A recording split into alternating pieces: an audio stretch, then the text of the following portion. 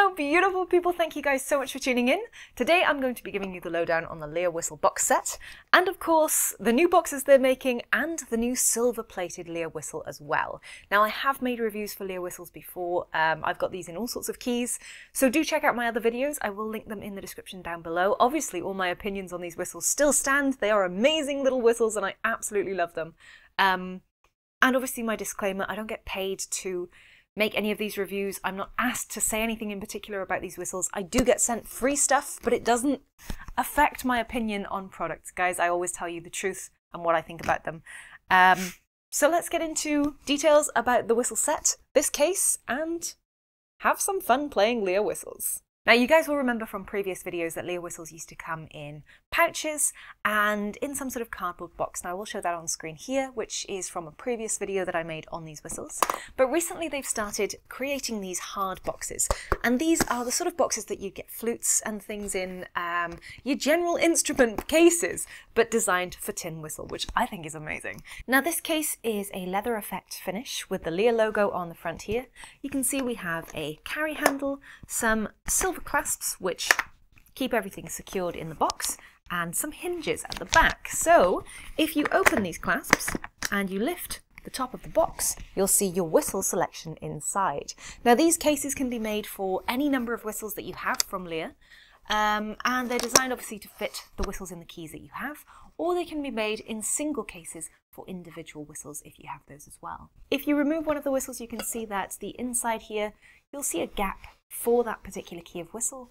Um, it's that sort of suede effect finish stuff and it's padded at the top here as well. So you just slide your whistles into those slots and it keeps them all nice and safe and protected, especially great if you're traveling or if you're gigging, you're going to a session and you want to take your full set with you. This will keep them safe and it makes a really easy way to carry them with you as well. Now the full set of Lír whistles at the moment is an E flat, D, C, B flat and A whistle. They are working on low whistles though I haven't received any yet. Um, I don't think they're available at the time this video goes out, but they probably are if you check back in future.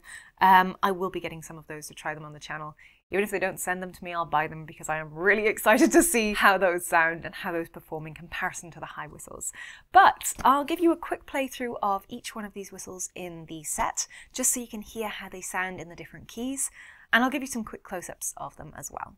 Lír whistles are tunable, so you can adjust the tuning. They do come tuned a little on the sharp side, but they do uh, hit their optimum tuning as you play them as the whistles warm up. These are the brass inside and chrome plated whistles. As you go down, you can see there's E flat written on the bottom here, the key, and there are also rings on the whistle that tell you the key of the whistle as well.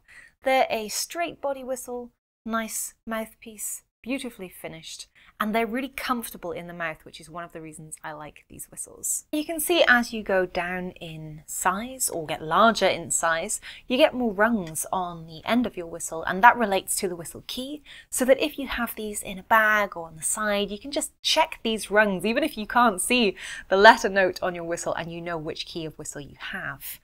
On the lower whistles, the holes do get a little bit larger. This is the A whistle, and as you can see, uh, that fifth hole at the bottom is quite large, so if you have thin fingers or slender fingers, you might want to switch to a piper's grip just to cover that. But the finger spacing on these is nice. Um, they're not difficult to play, the high whistles.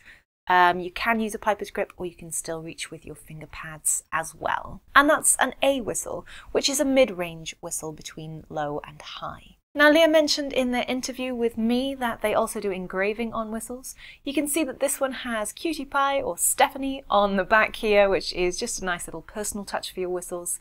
It's useful if you're giving gifts or wedding gifts, or you just want your name on your whistle if you're going out um, with other people with Lír whistles as well.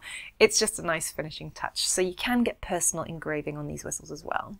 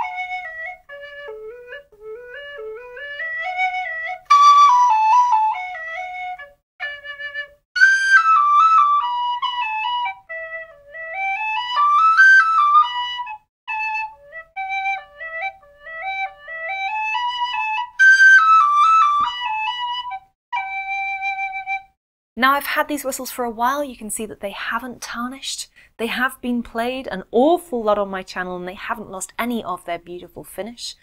Lír have now switched from chrome plating their whistles to silver plating their whistles. The only silver plated whistle I have has come in an individual Lír whistle case. Again, we have the clips here, and if I open up inside, you'll see an individual whistle in its individual little box. Again, this is padded here at the front and on the top and on the inside. And if I take the whistle out, you can see the space for it right here in the box as well. There's no better protection for your whistles than in a case like this. Um, it's a genuine hard instrument case and it makes whistles instruments, real instruments in the real world, which we as enthusiasts all know they are, but a lot of people seem to think they aren't. Now this is the silver plated D whistle. Again, the same applies, it's tunable. It has the signature mouthpiece. The design itself is the same other than the fact that this is silver plated brass rather than chrome plated brass. You've got the rungs and the key on the bottom here. And if I turn this over, you'll see that it says silver plated on the back. And that is to distinguish these from previous Lír whistles that weren't silver plated.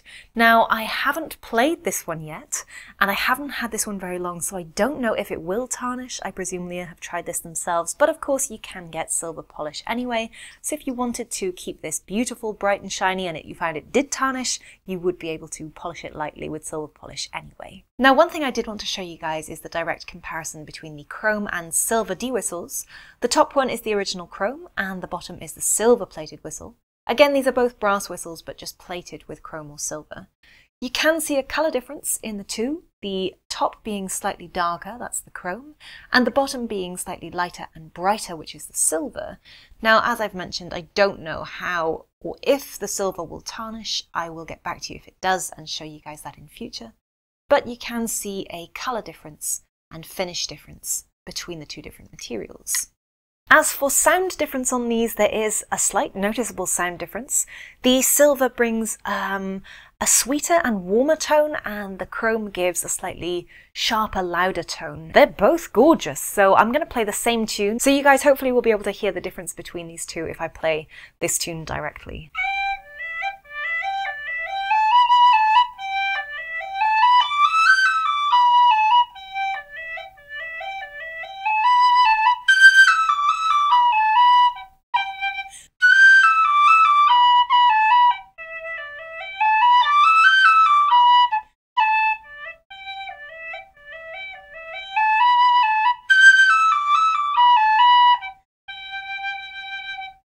Now, as for noticeable differences between the silver plated and the chrome plated, the chrome plated is slightly heavier and the silver plated seems definitely lighter. The silver plated body, although I don't know for sure, seems slightly thinner, but the tone is definitely sweeter.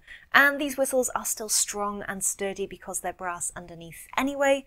Um, yeah, you've heard how they sound, you've seen how they look.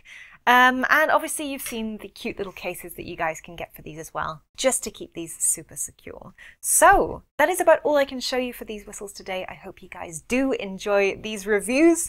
If you do, please hit that big thumbs up button. Let me know in the comments down below. Like and subscribe so you guys can get more videos like this. Um, and of course, if you want to help out the channel and support this sort of content, you can support me on either Ko-fi or Patreon, where you guys can also get rewards for your monthly contributions as well.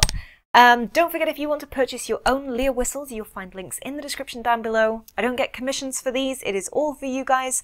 There's also a 10% discount code as well that you guys can use, which um, again you'll find linked down below too. Don't forget if you want to see my other reviews, you'll also find those here on screen now and the interview that I did with Lír recently just to clarify what happened last year when whistles didn't quite make it to customers. That is all behind them now and they are back on track, which is great news because we love playing these little things. Thanks for watching. Happy whistling. I'll see you guys very soon for more cool tin whistle stuff. Until then, have fun. Bye.